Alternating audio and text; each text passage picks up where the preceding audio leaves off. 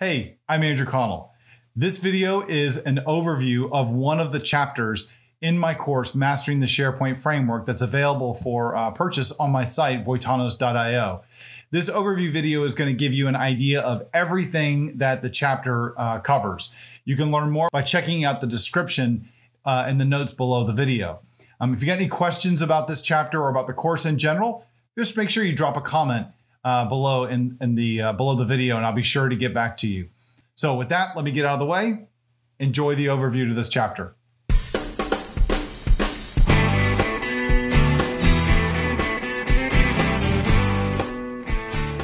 Hello and welcome back to my course on Mastering the SharePoint Framework. In this lesson, I want to dig into the structure of a SharePoint Framework solution, as well as some of the common characteristics that all SPFX solutions have. Now, often when creating new solutions, regardless of the language, you're left with a bunch of files and folders that no one ever explains. Not in this course. This chapter is going to tell you exactly what files you can safely ignore, those you should pay attention to, and which ones need to belong within source control, as well as those that should be excluded. This chapter will also touch on the page context, how to detect different environment types, and how to add multiple components to a single SPFX solution. But before we look at the project, let's talk about the different SharePoint environments and how they impact your SPFX solutions. First and foremost, everything, as in 100% of the things that I cover in this course, apply to the SharePoint Framework version that's deployed to SharePoint Online. SharePoint Online always has support for the latest and greatest capabilities in the latest version of SPFX. But that's not the case with the on-premises deployments of SharePoint Server. Now let's talk about on-premises SharePoint server deployments and how they deal with the SharePoint framework. Unfortunately, installable software has to go through a long development validation, packaging, and testing process. And this means that what goes in the installable package is usually much older than what you would hope for. This is true when it comes to SharePoint Server on-premises deployments and the SharePoint framework. In other words, the version of the SharePoint framework that you get in an on-premises deployment is from many months prior to the release of the SharePoint server. Another unfortunate truth that we have to come to terms with is the fact that Microsoft has no plans to upgrade the versions of the SharePoint framework that are included in the on-premises deployments of SharePoint Server. Microsoft has made the SharePoint framework available in SharePoint Server 2019 and SharePoint Server Subscription Edition, also known as SharePoint Server SE.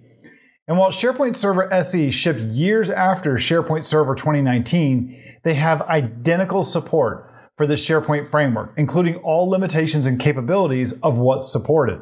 SharePoint Server 2019 and SE both include version 1.4.1 of the SharePoint framework, and this provides support for web parts, property panes, and the original three types of extensions that we got.